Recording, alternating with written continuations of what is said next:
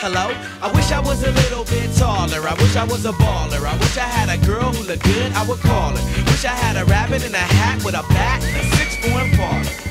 I wish I was like six foot nine so I could get with Leoshi cause she don't know me, but yo, she's really fine. You know, I see her all the time, everywhere I go, and even in my dreams, I can scheme a ways to make her mine. Cause I know she's living fat. Her boyfriend's tall and he plays ball, so how am I gonna compete with that?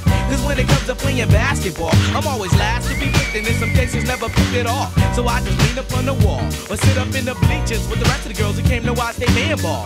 Dag y'all, I never understood black, why the jocks get the fly girls, and me I get the hood rats. I tell them scat, skittles, kabobble. Got hit with a bottle